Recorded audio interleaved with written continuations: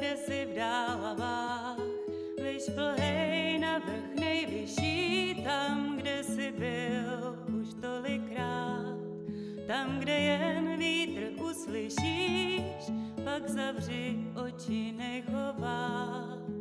Je jako posel dobrých zpráv, přilétá z dálek modravých, šeptá ti, neboj se, je zdráv, jistě se brzy zastaví. Možná už domů uhání, možná už klepe u dveří, tak vezmi naděj do dlaní a pospíchej mu otevřít